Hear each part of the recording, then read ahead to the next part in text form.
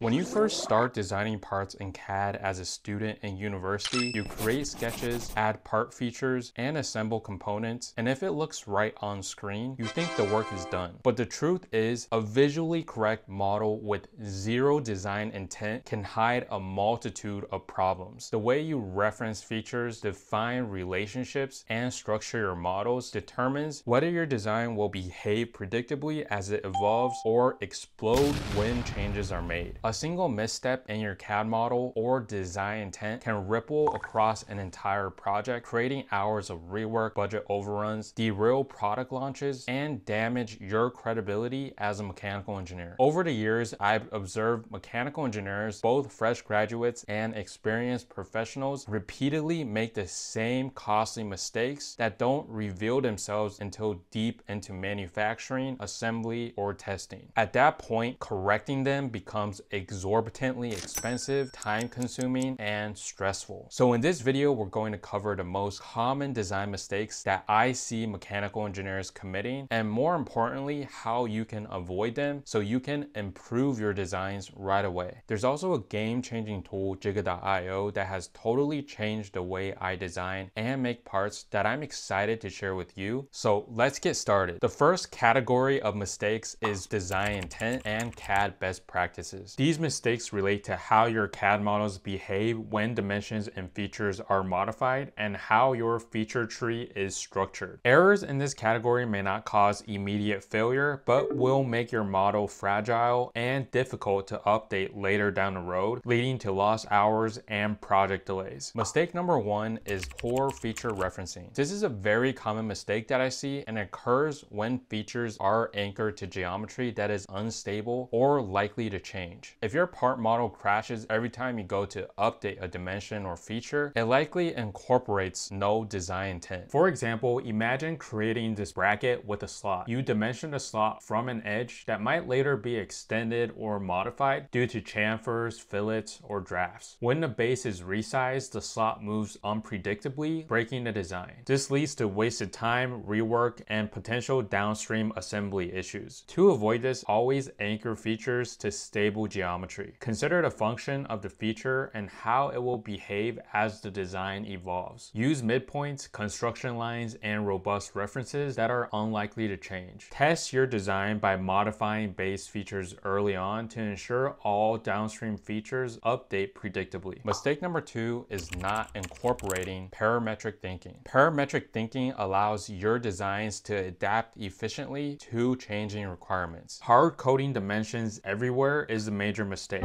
For example, imagine designing a rectangular bracket with two or three mounting slots. You sketch the bracket, then dimension each slot manually, the slot length, the slot width, distance from the left edge, distance from the right edge, and spacing between slots. That's multiple independent dimensions. Later, the bracket length increases from 120 millimeters to 200 millimeters. Now the slots don't resize or reposition correctly, and you have to edit every slot related dimension one by one. Instead, we can use parametric relationships. Define a global variable for bracket length and slot spacing. So say the slots always set at 20% from each end. When the bracket length changes, the slots automatically shift proportionally. With just a few equations and references, the design updates seamlessly. Try to leverage global variables, equations, linked values, patterns, and symmetry relations to ensure that your model scale, adapt, adapt, and remain robust throughout its lifecycle. Mistake number three is creating parts that break assembly mates. Mistake number one was about poor feature referencing within a single part. This mistake is about parts that are fine individually, but cause mates to fail when combined in an assembly. For example, consider this two-piece assembly consisting of a gear and a shaft. Each part is modeled correctly on its own. However, the gear's bore was not anchored to a stable axis or plane for assembly purposes. When you try to mate it to the shaft or resize the gear, the bore shifts slightly, causing the mate to fail and the gear to jump in the assembly. In a real product with hundreds or thousands of parts, a single unstable feature can break dozens of mates, wasting hours of debugging and delaying the entire project. To prevent this, always design parts with assembly behavior in mind. Anchor critical features to stable references, use parametric constraints, and test in virtual assembly assemblies as you design. This keeps assemblies predictable and prevents costly downstream failures. Mistake number four is neglecting feature sequence and organization. Building a CAD model without a logical feature sequence can cause rebuild errors, broken references, and unpredictable behavior when editing the part later. Features added out of order may interfere with one another or create dependencies that are difficult to resolve. Take this sheet metal enclosure for an example. If you start by cutting vents, adding louvers, and punching mounting holes before you've even defined the base flange or overall enclosure shape, you're building on shaky foundations. Later, if the enclosure size changes, all of these downstream features can break and force hours of rework. The fix is to organize your feature tree to reflect proper design and manufacturing intent. Start with the base flange or main enclosure shape. Add bends, hems, or reliefs next since those define the sheet's form. Then insert cutouts and functional features like vents, louvers, and mounting holes. Finally, leave cosmetic or branding elements like logos, text, or edge chamfers until the very end. Mistake number five is not using configurations or reusable components. Many engineers create separate files for every variant of a part instead of using CAD configurations and modular design. This leads to redundancy, inconsistent designs, and wasted time when updates are required. For example, a part designed with three different sizes may be saved as three individual files. Later, a change made to the base feature requires editing all three files individually. The solution is to use CAD configurations or parametric components to manage design variants efficiently. Modular components can be reused across assemblies, reducing file clutter and ensuring consistency. Now, before we continue, I want to emphasize here that no matter what it is you're designing,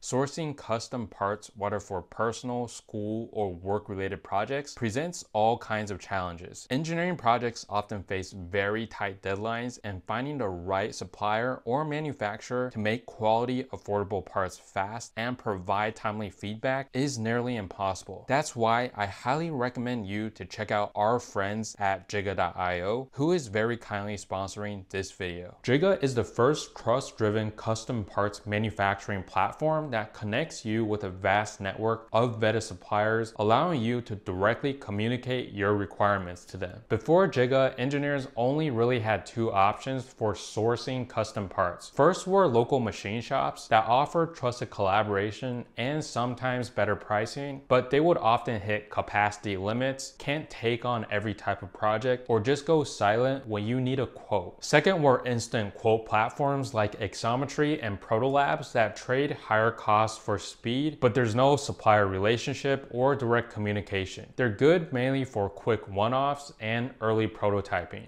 That's where Jiga comes in. Jiga combines the best of both worlds by providing you with direct access to vetted manufacturers with no black box, reliable capacity from R&D to production, and pricing that actually makes sense for professional production. Recently, I needed a custom part made for a project. I simply uploaded my CAD files to Jiga and literally within minutes, I got competitive quotes from three different suppliers and received precision parts in under a week. Jiga is also trusted by the fastest growing hardware startups and top tier companies like NASA and Siemens, so you can be sure the quality and on-time delivery of your parts are guaranteed. So if you're looking to source custom parts efficiently and reliably, definitely check out Jiga.io through the link in the description below. The second category of mistakes is design for manufacturing and assembly or DFMA. Mistakes in this category affect whether your design can be manufactured efficiently, assembled without difficulty, and serviced over time. These errors are expensive because they're often discovered late in production or testing. Mistake number six is forgetting manufacturing constraints. Mechanical engineers often design features that are impossible or inefficient to manufacture. Sharp internal corners, deep narrow holes, and steep walls can be difficult to machine or mold. For example, a designer may specify a zinc casing with a thin 2mm wall running all around the entire perimeter. While it looks fine in CAD, in casting this wall may not fill properly with molten metal leading to defects, weak sections, or even scrap parts. This leads to delays, higher costs, and potential rework. To avoid this, understand the limitations and constraints of your chosen manufacturing process. Collaborate with machinists, toolmakers, and suppliers early on, and design features that are practical to produce without special setups. Mistake number seven is failing to design for modular or reusable components. Some engineers design parts that are overly specific to a single product or assembly, preventing them from being reused in other designs. This increases part count, inventory costs, and design time. For instance, consider the frame of a mountain bike. If the manufacturer designs a completely new frame for every model variant, different wheel sizes, suspension setups, or geometry, they end up producing multiple one-off parts. By designing the frame with modular mounting points for brakes, derailleurs, and suspension components, the same frame design can serve multiple bike models. This reduces manufacturing complexity, inventory, and manufacturing time, and simplifies maintenance and part replacement. Identify features that can be standardized or reused across multiple products. In many cases, you can reuse your existing components in your new products as well. Mistake number eight is disregarding tool access or assembly clearance. Designing parts without considering how they will be assembled is a frequent source of costly delays. Screws that cannot be reached, tight spaces for torque wrenches, or parts that require awkward handling make assembly inefficient. To avoid this, plan for tool access and ergonomic assembly. Include adequate clearance for hands, tools, and fasteners, and simulate the assembly process if needed. Mistake number nine is your part cannot be disassembled for repair or maintenance. Designing for one-time assembly can be tempting, but it can be costly over the entire product lifecycle. Parts that cannot be replaced or serviced lead to expensive repairs, downtime, and customer dissatisfaction. For instance, many modern German cars such as certain BMW or Audi models have engine components or electronic modules tightly packed into the chassis. Replacing a sensor or performing routine maintenance often requires removing multiple subassemblies, panels, or even the engine cover. This dramatically increases labor time and repair costs, but in their defense, luxury and premium brands often assume owners will use dealerships for maintenance, so service difficulty isn't a major concern for them. But in general, design modular subassemblies, use service-friendly fasteners, and include access points. Always consider the product's entire life cycle, including maintenance and repair. Mistake number 10 is applying unnecessarily tight tolerances or omitting GD&T. Incorrect tolerances are a silent killer of schedules and budgets. Overly tight tolerances increases manufacturing and inspection times, and missing critical GD&T leads to assembly failures. For example, applying a 100 millimeter tolerance on all features without functional need drives up costs and lead time exponentially, requiring multiple machining passes and lead to higher reject rates. The solution is to assign tolerances based on functional requirements and tolerance stackups. Use GD&T strategically for critical features and loosen non-critical dimensions to save costs and reduce risk. Category 3 is process and documentation mistakes. Mistakes in this category won't break your CAD models, but will slow down projects, introduce errors, and increase costs across the entire product lifecycle. Mistake number 11 is poor part numbering and approval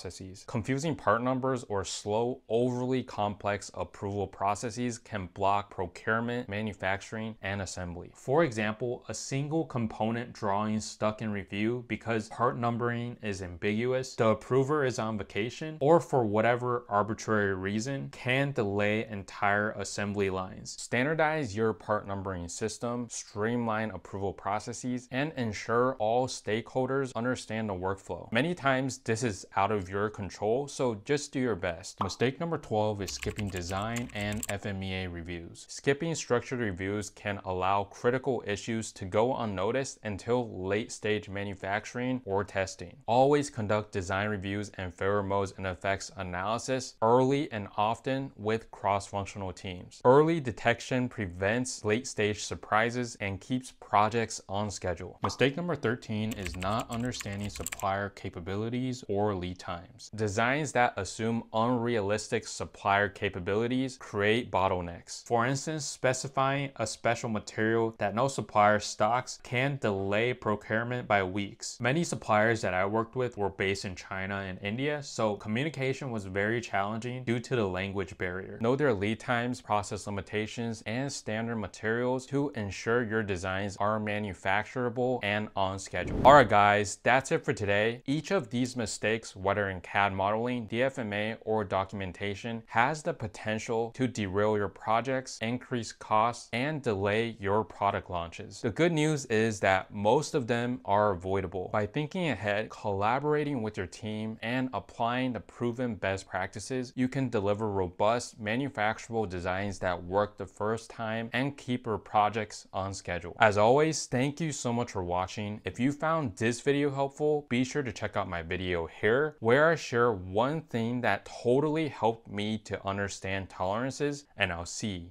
you in the next one. Peace.